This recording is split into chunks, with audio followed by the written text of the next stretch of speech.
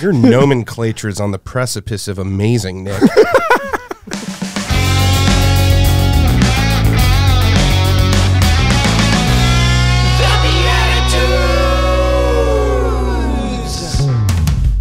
What do you think, Dave Moore? I, I I was in it.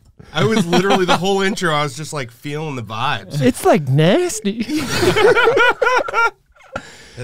You know, you're our first professional musician to hear the BeatiDudes intro. Mm. I love it. What do you think?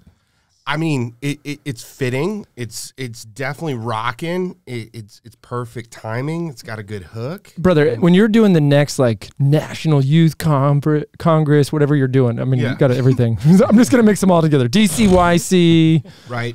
NCYC. Do you think you could s- do one of these? Stubby YC. yeah, That was- toss one of those. solid. Hey, everybody. Welcome to the BeatiDudes. I'm Jeff Schiefelbein. I'm joined by co hosts Nick Besner, Paul Kolker, and our guest today is Dave Moore from the Dave Moore Band, among many things, including the Catholic Music Initiative and some other really cool things we're going to tell you about as we get into the show. Dave, we're so pumped to have you here. You made it to the studio for the first time ever. Um, you had your hand in this. I think you told us to buy these mics.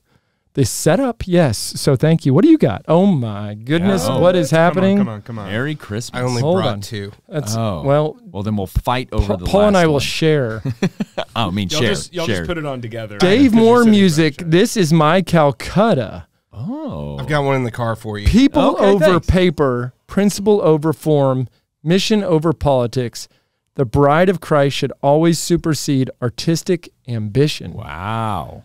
It's like you have 10 slogans. It's the beard for me. Core values, just uh, you know, circling around the beard. I'm going to set it over Kinda here like in my flies. important pile. Okay. Oh, yeah, the, fly, the flies of I love value. it. I love it. I You're love good. it. I'm you, good. The- you dig the- it. I'm just I'm in awe. Oh, It's like thank the ointment of virtue You'll is get one. attracting the, ointment of flies virtue. of core value. you. Yeah, It's that's wonderful. That's in the Psalms. Yeah, That's in there. there's Yep. a lot of flies Yep. in the Psalms.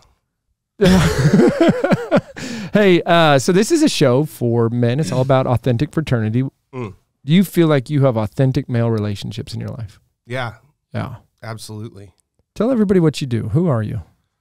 I think I just did in a, sh- a t-shirt. Yeah, yeah. No, I, I'm I'm first a husband, father. Um, got a three year old at home. Um, I recently uh, started a nonprofit called the Catholic Music Initiative. Kind of manage a, a really awesome team of people who make sure that they harness the wild tornado, which is my creative thoughts, and um, including Jeff, president of the board.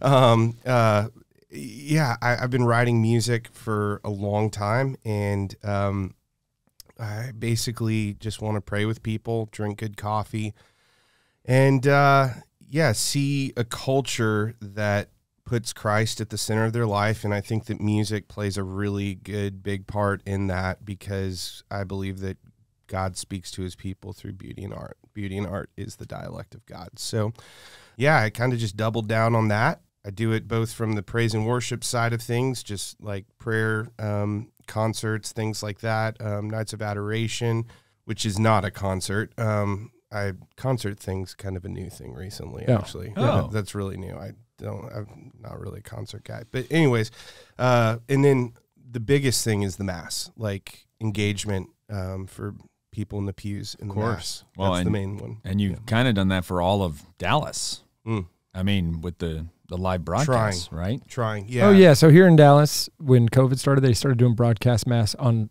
on the big TV stations, not just internet. Which internet mass is great, right. but it started to reach people that aren't going on and watching something on YouTube. yeah, you know the bishop got this broadcast out now everywhere i go with you and your wife i'm like the handler like here let me hold your stuff while they take pictures hold my shirt. oh, I know you from the TV. he's always like jeff fluff my beard here they come I actually brought this new. Uh, yeah, thank you. The straightener. Uh, it actually makes the beard look better because, believe it or not, there have been a lot of people who have commented that my beard is unwieldy. oh i think it's yeah. like a upside down don wieldy. king I think it's very wieldy. it's wieldy Thank you, thank you. I think Paul, it can be tamed, But yeah, I've gotten handwritten letters telling me that I should shave the thing. People have offered money. Notes And- of protest. Yeah, exactly. And so I, On I stationary. That's sweet. yeah, I mean, Yeah. They must it, not know branding. was it at least cardstock that they were sending you? Uh, like letterhead? One was like a folded up uh, old uh, what, what's the old school paper with Legal the pad. Is it where you have? pad. Oh, I thought you were gonna say it's where you have to pick My like man. blue five, shave your beard. wow, that was an elaborate way to tell me. Your nomenclature is on the precipice of amazing, Nick. Not my words. He's Yeah. multi generational. yeah, it's SAT words. Generational. When did you know when? When did you know music was your thing? there were there were three major moments in life. Um, the first one was uh, as a freshman in high school. My whole life uh, revolved around the game of basketball. I studied. I loved. Played summer league on AU teams. Uh, was on a very successful team. Uh, wanted to go to college to do that, and I blew out my ACL, my MCL, and had this really bad experience after the surgery and my rehab was terrible and i just started singing because i had nothing else to do. And you know watching tv worked for the first few weeks but like i would have this thing that would move my leg up and down um, trying to keep the range of motion. And i actually distinctly remember asking my father to bring the guitar into me. And um, i previously when I would write songs, it was for like girls that I had a crush on and I wanted them to like me. But in this season of life, I, I felt extreme desolation. And it was actually in this season of life that music truly became a way to um, connect with God. And so I started writing songs and uh, making kind of melodies to the responsorial psalms. So that was kind of when it actually began for me. In high school, I played in a lot of rock bands. Um, I think the reason earlier when I said like concerts aren't really my thing, it's not because I don't like going to concerts, and I'd probably be, you know, a pretty fun concert to get, you know, I'd probably put. I'd be a fun concert Uh, to yeah. go to. I'm with you. yeah, yeah, yeah. I, I'd put on a good concert. I don't even play music, and I'd be a great concert to go to. Yeah. You were literally showing me clips of that. Can I get Exactly. Right before the Right show. before the show. I need more coffee. Right. I think we all. I did a I'm No good. Sleep Till Brooklyn cover on stage with this band, the Mm. band that actually recorded our BeatiDudes intro. Mm. And so I was showing it to Nick. That's not an easy song, man. Uh, no, no, no, no. Anyways, keep going. Yeah, so you know, I I think the reason I'm like hesitant with the whole concert thing is because later in my high school, um, early college experience, um, I was challenged by somebody who I just tremendously respected. Uh, is actually Paul Baloche. He wrote "Open the Eyes of My Heart." I was at a National Worship Leader Conference. He's like this like kind of staple um, guy who like would never miss uh, Sunday service at his home church and like would fly all over the world but always make it back for Sunday like really has priorities right and so anyways I had a chance uh, to talk with him and he looked me in the eye and was like hey look like I see that you're gonna go somewhere I, I see your gifts um, I think you need to be told and come to understand like this conviction um, you, you got two roads here uh, you can't serve two masters. You can't like promote yourself and do this whole like, hey, look at me entertainment thing while also trying to be invisible and lead the people of God into throne room, deeper worship and relationship with Christ. And so that was a really big moment for me. Um, so musically, I was so convicted by his words that I started really discerning, Lord, what do you want me to do with this gift? And and down the road, I ended up choosing I want to serve the church. And uh, I used to have these dreams. I've actually never shared this with anybody. Like I, I would have this dream that would reoccur every f- few times a year, and it was like I'd climb this incredible mountain, and I was standing at the top of this mountain, achieving like this incredible thing, and all of a sudden I'd look to my right and left, and there was nobody Yeah. with me. And then it's Mm. like, "Where are you, Lord?"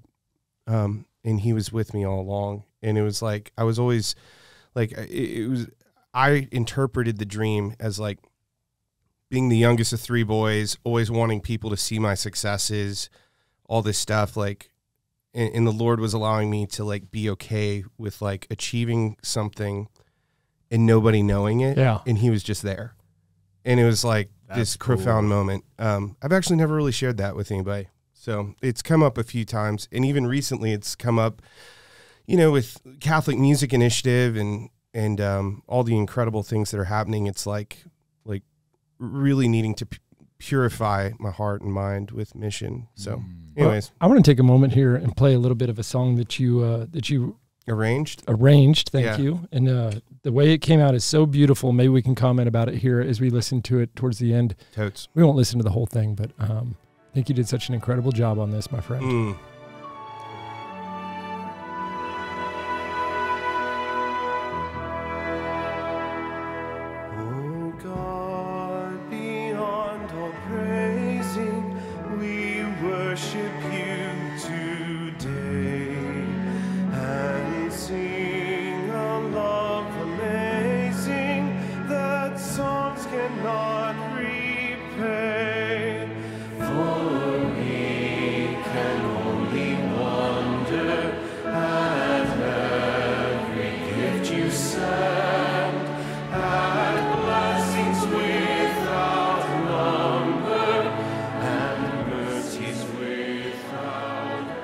I know that we end up having the trumpets come in at one point, and that's when this song goes to the next level. Yeah. Yeah. I would encourage everybody to go on whatever their favorite listening device is, purchase Catholic Music Initiative's albums, but check out Oh God Beyond All Praising. I'm going to leave you on the hook for that trumpet because that is something else. Yeah. Tell me about arranging music that exists, bringing it kind of that, you've said it to me before, the ever ancient is ever new. Like, mm. tell me about this process you go through. First and foremost, like when it comes to things of scripture, like I think there's a really um, intimidating factor at play that it's like, this is the word of God, and I'm trying to create something that would bear the weight um, of the text of God's word. Um, and I think that that's something that um, just is really intimidating uh, when it comes to hymns like "O God Beyond All Praising." It's really interesting. Uh, it, it's it's already beautiful. Yeah. The words are incredible. Um, my favorite part of it is, um, "In whether our tomorrows be filled with good or ill, we'll triumph o'er our sorrows and rise to bless you still." So that always hits me, like for the first time, um, even though I've heard it tons of times and sung it tons of times. But but I think the idea is to add a cadence and a nuance that would maybe like reach people in a different way. And when we started arranging th- to that hymn, it was it was really interesting. Like the world um, just felt like it was imploding, you know, and like there was so much division. And the media was kind of knocking at the door through social media. Everything you watch, it's all just just really overbearing and stressful. And then there's like this hymn that brings people joy and draws them into the heart of God. And I don't want to completely change it. Um, I actually just want to make it accessible for people today Yeah. so that they receive it almost in a new way. Hmm. And so um, you'll notice like um, if if you look at like kind of like the Mormon Tabernacle Choir version or some of the other versions out there, it stays in this kind of major tone. Um, I went to the minor, so it's like um, constantly going back to the minor, which adds this kind of tension and darkness to the arrangement, makes it feel more sincere. And uh, and so yeah, um, that was kind of the concept behind it was how do we take this hymn and we like, I mean, just add a sincerity to it so people can really marinate on the depth of it. I think in this world of musical liturgy and and you have all these musical directors at churches everywhere across America. Mm. They're just in my mind often throwing things together, scrapping for resources, don't have much to help them along or to aid them. And then you just explained something to me about that arrangement that I've never heard before Mm. in a way that I can connect to without being musically intelligent. Yep. And also I I promise you the rest of the day I'm singing that song because you made it accessible. You didn't make it out of a range or a way that I can't do it. But if I was Mm. like your wife, professionally trained opera, then she can take it to some other level because that arrangement speaks to both groups. Uh, I hope people that are listening to this know this that Catholic Music Initiative resources are available to parishes, to campus ministries, um, to various events on their website, CatholicMusicInitiative.org. Yeah. And um, the mass settings are on there. Almost done with a couple mm. years. Going to round out all three years and all the the psalms to go with it. Prayerful, accessible, reverent music that can be for the the musician coming out of college that this is what they want to give to the Lord, or for Jeff and his family that just want to sing loud because we love Jesus. Yeah. Well, and I, I love what you said in there about it's already the word of God. So it's just how do we make it accessible? And that's that's very much John's gospel that the word became flesh Mm-hmm.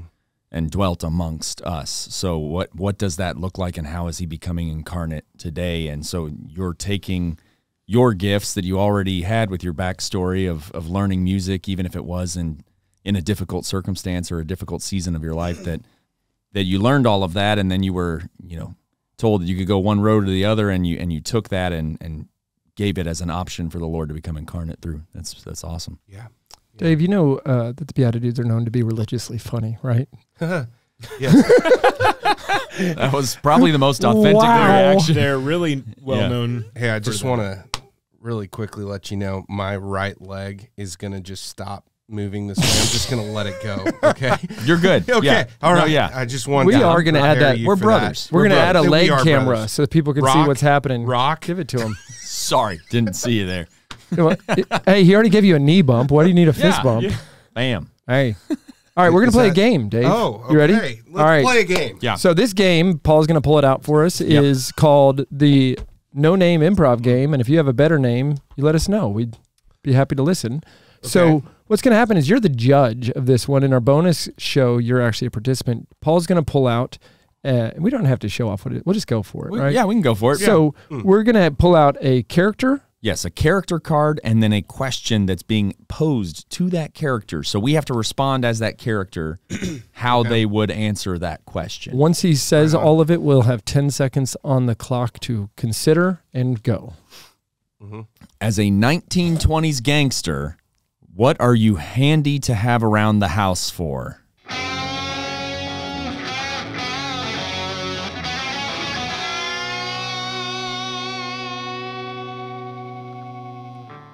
Anybody hungry out there? I got a knuckle sandwich waiting for you. Commitment. Stupid commitment. Hey, uh, anybody need me to shoot the lights out? I got my Tommy gun right here. That's pretty good. That was solid. Oh, Shoot the lights out. So handy to have that around the house. I had a, a similar approach. That's why you got to speak up I faster. know. Could've I gotta go. second and I could have. put me I in a could bad have. spot. Yeah. All right. So I'm gonna do a variant on that. Here we go.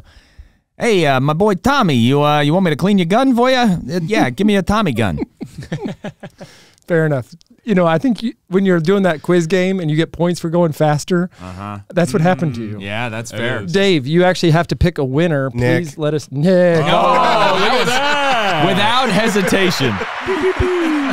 Wow. I'm sorry. I'm No, sorry. no. Don't you Don't shouldn't have. Yeah, don't apologize at all, picking brother. right I- I- winner. I I, just- mean, Yeah. come on. I'll just cry in my car. It's fine. I, I thought yours was really great. It got me laughing. No, N- you don't have to give me a the. Tommy gun. The thing is that you, you rolled off the Tommy gun. Your accent was great. I just Did I not get full credit for going very fast? I think it was too fast. Oh. I'm going to give you a little bit of Yeah, feedback that's fine. there. And Hey. it still sounded Australian. No, Dave. Fraternal direction. sorry. Let me tell you something. That's a good For one. being our celebrity judge, you're getting a pair of sock religious socks. I love sock religious. We're giving you the Sacred Heart of Jesus. Great, Thank Brother, you. congratulations. Thank you. Do you already have this pair? No. All right, well, that's a great one. Today I am JP2. wearing St. Augustine. Oh. wow. You, that looked really. Yeah, are you okay? You need to do that more. Yeah, it's been a while since I Practice, uh, practice that. did the old high kick. you need to um, maybe do the Roman version of you know Pilates, Pontius Pilates. What was that? Stretch bands? What? What? Hey, Dave. Stretch band. so you want to hear something cool? Everybody listening, the BeatiDudes, which is you know the the universe of BeatiDudes, can actually get ten percent off their first purchase of Mm. sock religious socks by Right going to sockreligious.com slash beatidudes. Yes. There is probably not a slash Beatitudes because I don't Mm. think they have that one. That'll get you to the 404. Yeah. Hey, this is Nick from the BeatiDudes.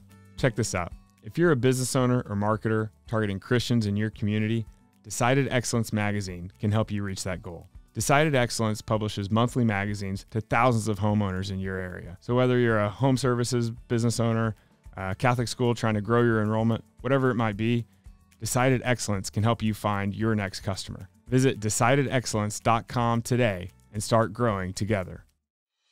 Hey, y'all, this is Jeff Schiefelbein. When Nick and I set out to start our new company, Undivided Life, we were really concerned about how would we cover the healthcare needs of our growing families, and we were so excited to find a company that fit both our medical needs and our faith beliefs perfectly. It's called Solidarity Health Share.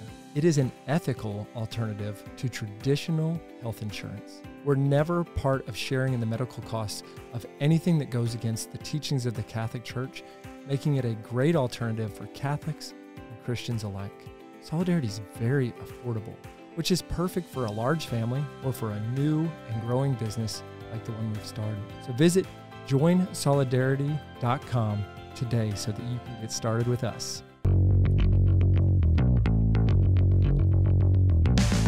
Welcome back, everybody. Hi, Nick. What's up? All right. Hello. Hello. Hello, hello. Hey, Dave Moore.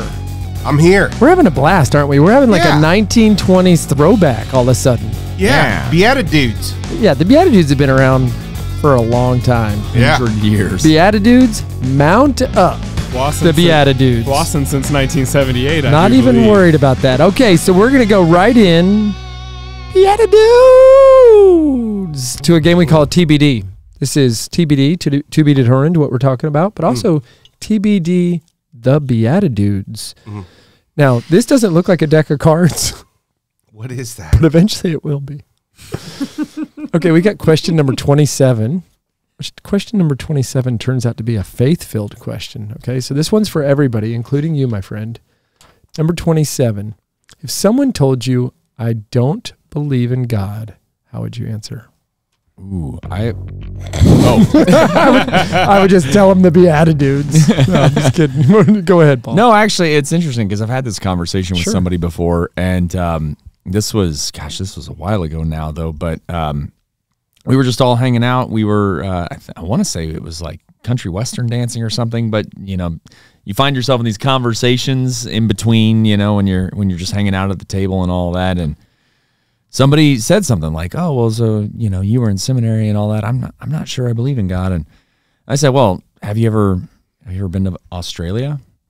And she was like, "Well, no."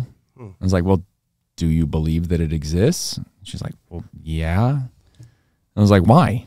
Yeah. Why? And she said, "Well, I, I know people who have been there, I've, like seen pictures and all that." And I was like, "But how do you know the pictures are from there if you haven't been there?" And you know, you can. And I know it was a little bit of a troll Sure, move, no, but it it. was just kind of like it got her thinking apparently. And and years later, she told me that um, she was like, "Yeah, uh, that helped a lot." Because she hadn't considered the fact that there are a lot of things that she hasn't encountered, but that she still just accepts as as being Yeah. real and true. I just had one of these two weeks ago, and you'll know where it came from when I tell you kind of the, the crux of it. It wasn't, uh, I don't think God exists, but it was, well, no, it absolutely was that, that God probably doesn't exist because of all this like superhuman life forms from, you know, millions of years ago, all this kind of stuff about ancient civilizations, all very fascinating stuff. And I said, What about Jesus? I said, Who's that? And this guy said, uh, the most moral human to ever walk the earth. I said, the most moral human to ever walk the earth. I said, can I challenge you on that? I said, do you think he's like Christ? Do you think he's God, three in one? He said, no, no, no, no, just the most moral human. I go, it's not possible. I said, if he's not God, if he's not the son of God, and you know where this comes from, right? Yeah. C.S. Lewis, he's an incredible liar or he is insane. But you can't be either of those and be the most moral human to ever walk the earth. You Or- might just be an okay party guest. Yeah. Lord liar or lunatic. exactly. is yeah, Yeah. yeah, that's great. G- growing up, my, my brother was finishing his uh, uh, PhD in medieval philosophy, and it was always like, "Hey, why don't you uh, go go get this job over here or do this and he'd always be like why You know? Oh man. and I, you know, all all fun and games aside, like for me, when I'm faced with people who ask that question, like no rational argument that I bring to the table has ever like completely won. It, it's it's simply like asking them questions and allowing them to kind of unfold the why. And um, and I think it, it's it's super interesting. Like ultimately like leading someone to an experience um, with God, like ultimately, um, you know, that that at least in my humble experiences has been like the the thing. Uh, I had a, a sound engineer who didn't believe in God for years, and I would always have him run sound during Eucharistic adoration. In every six hour drive we had, I'd ask him questions and let him answer the why. Yeah. And then all of a sudden, one day, uh, he goes up to Dr. John Bergsma from Franciscan University and he's like, I need answers. Like, I experienced this. What am I experiencing? Yes. and then, like, a year later, I'm his sponsor, you know? And it's like, Amazing. That's awesome. yeah, it, it, it's just kind of like asking the why and then allowing them to encounter the living God. the cool part of that too is like this whole thing that you can't be the answer. You can only be the hands and feet of Christ. So live Yeah. live a life Yeah. that God can work through you. Yeah. But it's not your timing. It's not your way. It's Right. You're just an instrument in that. Yeah, that's well said. Mm. That's well said. Yeah. Um, yeah, I think for for me, as I reflect on on that question, where where I want to go is like, well, think through your life and the things that have happened. If if that's your worldview, and okay, sure, you can just go with the it's all chance and formed by luck and predestination or whatever you want to call it, right? Mm-hmm. But if you actually dig a little bit deeper and peel back the onion, you'll see these things that just make sense in a way that line up that there's no other explanation.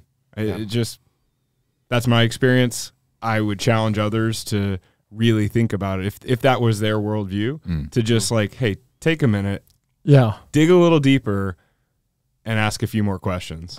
I think this. Go ahead. I smell Nick stepping in. This ancient, Yeah, uh, I should clean the floors.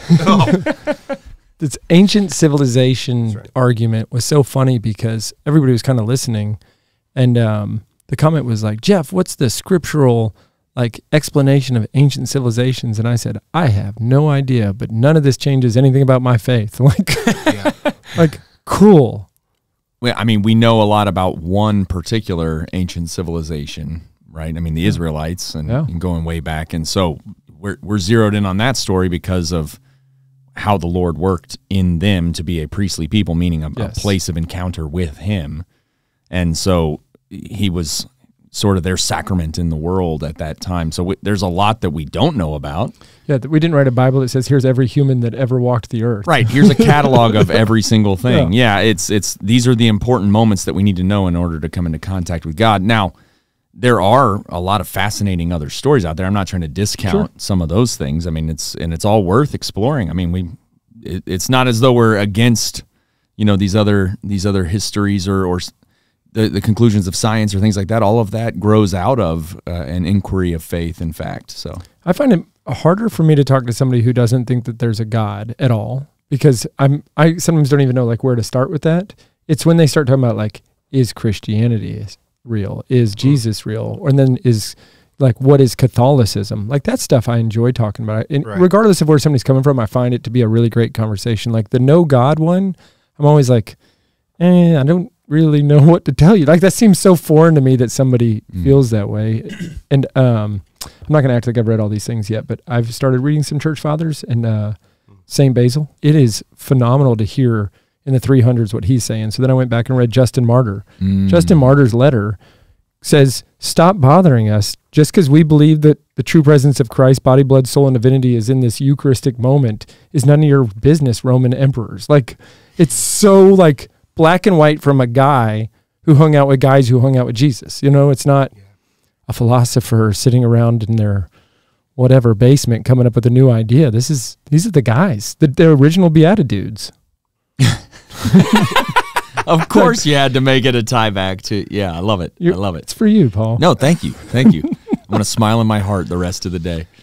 I was just marinating on everything that y'all were talking about. And uh, a long time ago, a, a really close friend who was a spiritual father uh, who kind of gave me wisdom. He, he reminded me that a theologian is one who prays, and one who prays is a theologian. And I've come to this realization that as we run across or uh, encounter people who have been completely consumed and taken by that of the world and the ideologies of the world, simply challenging that they encounter or just exercise that of prayer can sometimes be our bringing of the five loaves and two fish. And and then we trust that God brings forth the multiplication and the miracle. I think that that is something that uh uh it, it's so beyond us. Like this whole question it's um blessed are those who have seen and have eyes and hearts and ears you know to see and hear. Um, but I, i'm super this is this is a topic that's heavy on my heart because when i look at the world today i don't see a lot of virtue. And part of that is because i'm seeing a lot of the world through social media or through the news or whatever right? But i'm constantly reminded that in order to obtain virtue balance holiness right? Like like um, holiness is preceded by habitation. So ultimately if we are seeking the presence of god where he resides it is in doing so that we therefore are able to dwell on his thoughts and his ways and allow him to transform us to become holy Yeah. and so the question of people who don't believe or a world that is turned away from virtue, goodness, this, that, and the other, it's like, okay, let's let's bring the presence of God to them, which is really cool because in 2024, there's four Eucharistic processions. Mm. Chris crossing the four corners of the U.S. to come together in Indianapolis. That's right. Yeah. Wow. I want to talk about that in one second, but I actually remember what I was going to say. When you were talking about a theologian uh, prayer mm. is someone who prays and someone who mm. prays is a theologian. Yeah. The two things that I always love is somebody says, "Hey, what can I do for you besides praying?" And I'm like, "Pray more."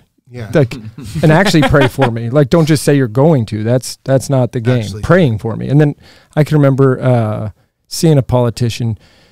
It's time to stop praying and start acting. And I was like, no, it is not time to stop praying. And I think that when we realize how powerful that is, um, that's a place that you can have encounter. And that that virtuous um, morality of America, I know it's shot, but at the same time, there's no good out outlet for the virtuous to broadcast how virtuous they are. So every time that we say that, like, oh, you'll never find good people in fill in the blank, New York, this college, this Yeah.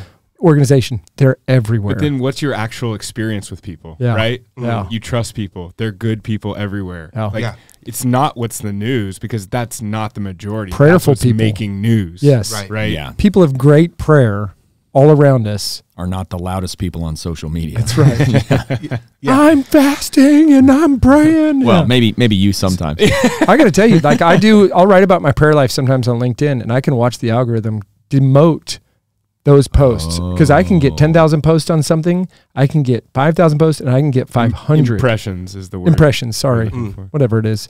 um, and what's wild is I can see the difference. And so, like, I posted something from the vocation of the business leader, but I left out the part where it says the word God. Like, I didn't take out God. I just cut out a part before and after some talk of God. Yeah. I guarantee that does better than Mm. if I were to talk about prayer. I mean, your iPhone won't even autocorrect if you write God wrong. It'll put Hod. That's not an accident. No. yeah. That's a complete Well, in sham. social media, if you're wanting to target like you know specific demographics or whatever, they have taken off the Christian demographic on Instagram, on Facebook. You cannot find. I did not. Do you know? I'm going to tell you a, I so- a story about know that. sacrilegious. So I have all the filters on my phone so that no kid accidentally presses something and ends up on. You know, they don't Right. have my phone, but I don't want that to happen on accident. Right. I can't go to at least back then I couldn't go to sockreligious.com because I had uh, all adult content restricted. Mm. And so you know there's just some punk kid who's like, well, that's a Catholic, you know, Christian organization. Let me make that one considered explicit and that one. Oh, and unless you catch it, you know, you have somebody like me that can call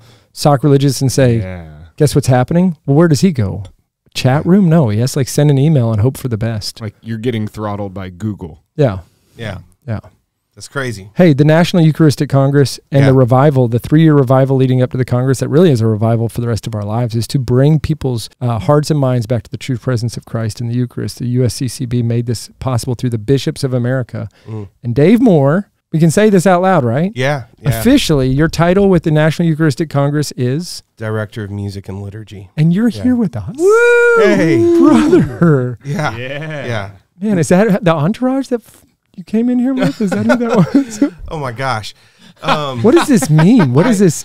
I think uh, it means, honestly, it means that I've got a lot of work to do Yeah. and a lot of prayers to pray. Um, this is uh, so much bigger than any of us. And it's incredible that, you know, we get to play a small role in, I don't know, just being a vessel for the Lord to meet and empower his people. And in this very special way. Yeah. And and when I think of the the Congress, which will be in July of 2024, the idea that it really is going to be the biggest family reunion of the Catholic Church in our lifetime. I love that. You know, I love that. it it really is. It's it's epic. You know, I mean, there's so many things I'd love to say uh, of people that are going to be there, and I mean, there's going to be so much. Um, I I'll let that be announced by the Congress, but um, what I can tell you is that as far as you know, I know with the liturgies, like to see all the priests and the bishops, and to have a full orchestra,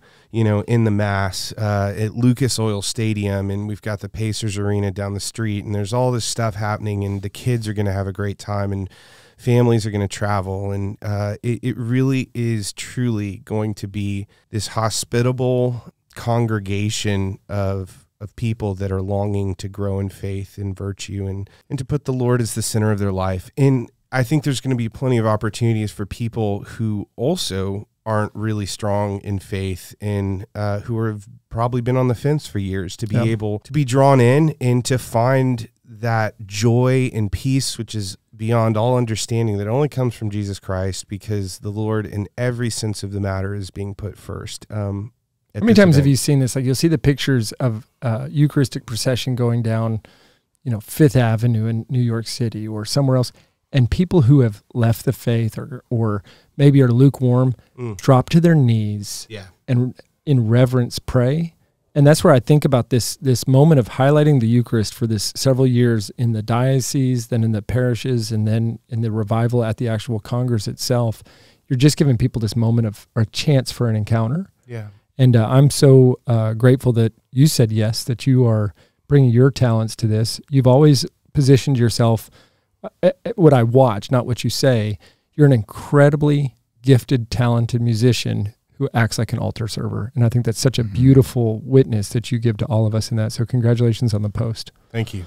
I will say this: the team that is working on this, Yeah. um, the executive director Tim. Um, when we first talked, I I was really trying to get to know this guy more, um, and he's like a warrior for the faith. Yes. Like he doesn't let things get him down. Mm. And um, he was actually in Dallas recently, and you know, I, I mean, just probably got plagued by Dallas allergies or whatever. But like, he'll never let you see it because he's so keeping his eye on the goal.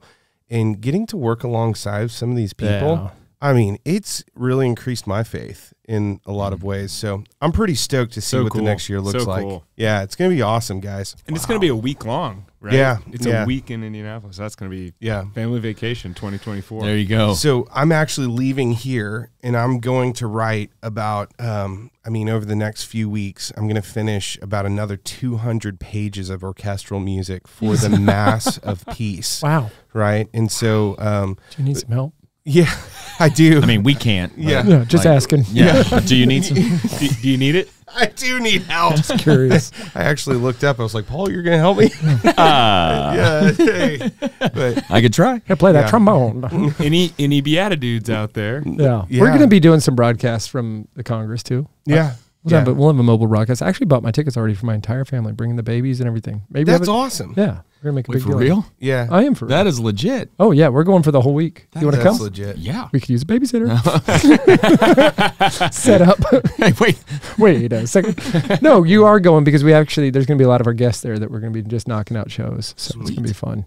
Um, hey, we do something on the show that's a little unique. Ah. Um, do you know what the reverse Simpsons are? Wait, is that like when you don't have a tissue, so you close one and then just let it go? wow. I think that's called something else, but I'm glad to hear that's where you went with this. Ah, So this is farmer's blow. That's Farmer's what it Blow, reverse Simpsons. Okay. I, I got Nick. I call it. I, I don't even know. I don't even know how to follow I that. think So I call it the, like the runners something. Wait, like who's our demographic for this? don't worry about it. They're fine. It's all blown. Yeah. So the reverse great. Simpsons is that every Simpsons episode is different at the beginning. Mm. The BeatiDudes closes every show differently, and we would like for you to, um, as we play this little uh, bassline jingle, we're going to do a competition today. It's the the cream cookie challenge. The so what happens here? Because I saw this on TV, is we're going to put these on our foreheads, and we're going to actually, Dave, why don't you participate? Is- He's just going is- for it. you can you can eat one, but we put it on our forehead, and you're, it's who can first get it into their mouth. What, what would be good is for somebody to continue to try to speak during this too. So Maybe we'll keep the show can- going. Dave can narrate for those. All right, uh, hold on. You, the show hasn't started. I don't know how you're going to do that. With your, you're cheating. You're cheating. you can't glasses. Come on. Used his glasses. All right, to since you already got it cookie. done, the competition down. clock is 60 seconds. Wait for the bassline, and if you drop it, you can just grab another one. Okay. Okay. Get yours. Okay, y'all ready? Mhm. Yep. Paul, stop calibrating. Hold on, hold on. Let me Stop. get on this. Calibrate and listen. All right. We going? In your mouth. You got to catch it. Oh! Okay, that's one. Oh, so close. Ah! That's two. Yeah. First down, move the chains for Nick. Ah. I got it. I think I won. No, Oh, it's so close on the. no, I one. did a chewing noise and you said I won. I was chewing Oh, was before you when you said that. hey, mom, I'm on the radio. Hold on. Dave. Call you soon. Who are You You can plug her in if you want. God bless America. You want to plug her in? All right. Oh yeah. All I need that. 50 points for Nick, 50 points for Jeff. We'll split it. Great job. Hey, glad you stick around for the bonus show. These are This was such they are really good. This was such a great show with you, Dave. We'll see you in the bonus show. And it may be a while before we're all back together again, but we will see you in the Eucharist.